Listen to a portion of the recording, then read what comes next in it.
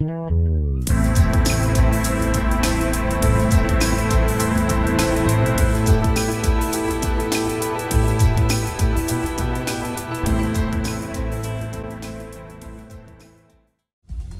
в выпуске. Грандиозный праздник спорта в Десногорске все минувшие выходные. Итоги пленума Десногорской ветеранской организации и подробности фестиваля креативного творчества «Апельсиновая береза».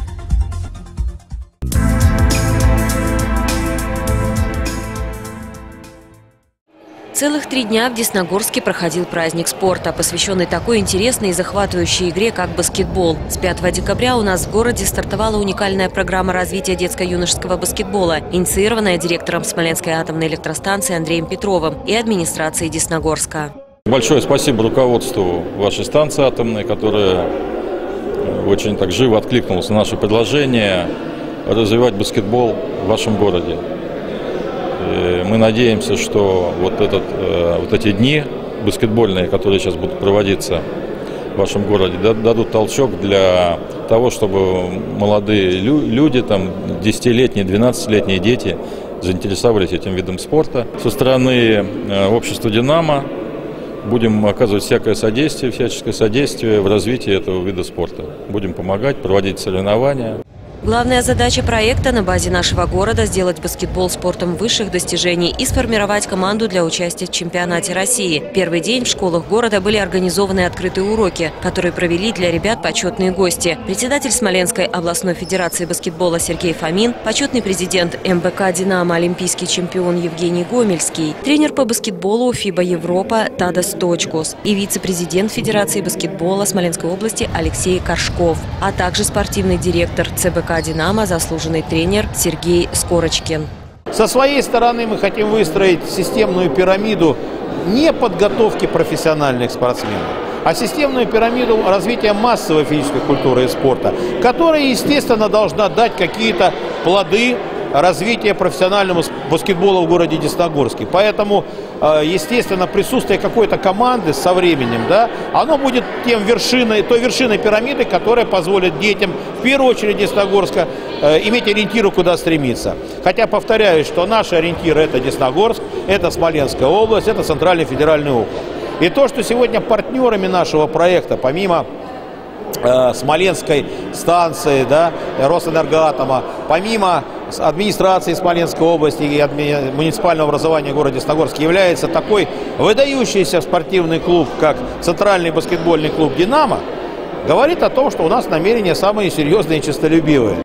В этот же день состоялось торжественное открытие Кубка Смоленской атомной электростанции по баскетболу среди юношей и девушек школ Десногорска. Второй день был не менее насыщен спортивными событиями. Игры за третье место и финал Кубка, а также торжественное открытие Кубка Смоленской области по баскетболу, в котором приняли участие семь команд из городов Десногорск, Смоленск, Рослав и Сафоново узнала о таком событии и считаю, что оно достойно и обязательно должно такие мероприятия, такие особенно спортивные события в нашем городе быть. Я рада тому, что будет развиваться это детский баскетбол, я так поняла, правильно, да? И что наши школьники имеют возможность приобщиться к этому виду спорта. И не просто вот на таком любительском уровне, а если это будет профессионально и хорошо, это будет просто здорово. Баскетбол очень интересная, увлекательная игра. Технически сложная, но можно всему научиться.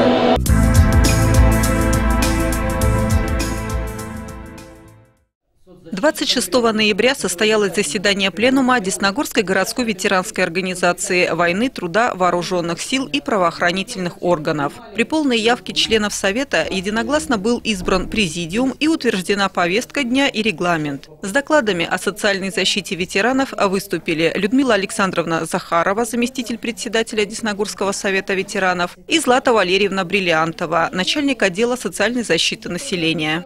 Я хочу поблагодарить всех, присутствующих, которые здесь присутствуют, руководителей, за их такое трепетное отношение к ветеранам, за их сотрудничество. Э, на период не только за этот год, который мы как бы зачитываемся, а за каждый год приятно всегда говорить о том, что нет такого, такого случая, чтобы где-то кто-то что-то не сделал. Злата Валерьевна подробно рассказала о проделанной работе по принятию мер, направленных на выполнение гарантированных федеральным и областным законодательством экономических, социальных и правовых мер социальной защиты и поддержки, отметив, что по-прежнему социальная защита ветеранов войны и труда является одним из приоритетных направлений в ежедневной деятельности отдела. Все своевременно получают у нас назначенные ежемесячные выплаты. Э, которые идут из средства областного и федерального бюджета и которые всегда у нас расходуются по назначению. Э, большое значение отдел социальной защиты уделяет именно консультативной помощи, никогда, в принципе, никому не отказывали в консультациях, что это по телефону, что при личном приеме. Точно так же ведется разъяснительная работа и информирование через средства массовой информации. Если что-то у нас меняется в законодательстве, мы всегда стараемся разъяснить это все, а, объяснить э, жителям нашего города, ветеранам нашим э, в средствах массовой информации. А, также проводятся, где проходят какие-то мероприятия, мы там присутствуем, мы то же самое стараемся донести те изменения, которые происходят в законодательстве, до а, наших ветеранов. А, и поэтому всегда говорим о том, что при наличии вот этих правовых знаний вы всегда можете своевременно обратиться и воспользоваться теми льготами, которые вам положены. Участники пленума отметили, что городским советом ветеранов и отделом социальной защиты населения Десногорска проделана определенная работа по социальной и правовой защите ветеранов. В соответствии с постановлением пленума было решено совместно с администрацией города осуществлять оказание адресной помощи нуждающимся, поддержку больных и одиноких ветеранов, улучшение жилищно-бытовых условий ветеранов. Председатель городского совета ветеранов Игорь Владимирович Журавлев доложил о работе по военно-патриотическому патриотическому и духовно-нравственному воспитанию молодежи. Что мы делаем в этом плане? Буквально до года два, наверное, очень активно привлекали фронтовиков в связи с тем, что у нас сейчас осталось всего 27 и только двое, которые, э, которых можно представлять людям, то естественно, что вся нагрузка легла на участников войны в Афганистане, в Чечне, в Югославии, на вооруженные силы, на морское собрание, то есть на новое поколение, которое воевало или имело отношение к воинской службе. Ну, чтобы не вникать долго, скажу, что, допустим, в этом году было 25 лет вывода войск из Афганистана. С, 13, с 15 февраля, это день вывода, до 23 февраля, это за 8 дней, мы провели 26 мероприятий. Это мои ребята. Это в день получалось по 2-3 мероприятия. Вот я как мог выдергивал, причем нужно было не просто говорить или рассказ, или лекции, или беседу вести, нужно было петь, нужно было там стих рассказать, в зависимости от аудитории.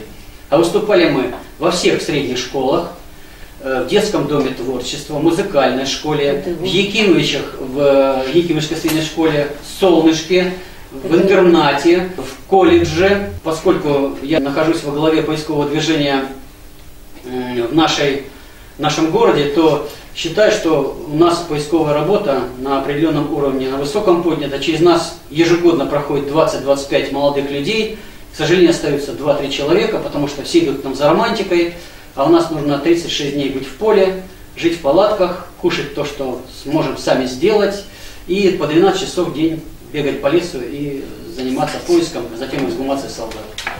То есть остаются только те, кто действительно понимает, что это такое. Работаем мы очень хорошо и активно. За этот год мы э, подняли 195 солдат вооруженных сил, то есть рабочий крестьянской Красной Армии 42 медальона, э, нашли, вернее, восстановили 6 фамилий солдат полностью, и троих нашли родственников. К сожалению, от одного солдата родственники отказались. Украина, Харьков. У нас в феврале следующего года 10 лет исполняется отряду. За все вот это время мы подняли 994 солдата, нашли 132 медальона, 54 прочитали, найдены две награды боевые, найдены 21 родственник. Вернее, родственники 21 солдата. 6 солдат по просьбе родственников были отвезены на родину, и их похоронили на семейных кладбищах.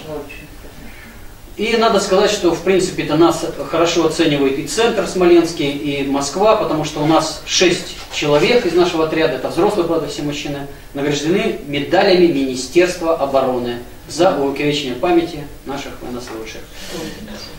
То есть я считаю, что мы Несмотря на все имеющиеся трудности и с лекарственным обеспечением, и льготным медицинским обслуживанием, ветераны Десногорска планируют принять самое активное участие в праздничных мероприятиях, посвященных 70-летию Великой Победы. А все мы, уверена, будем и в дальнейшем чтить память ушедших и проявлять заботу и внимание к тем, кто подарил нам мирную жизнь.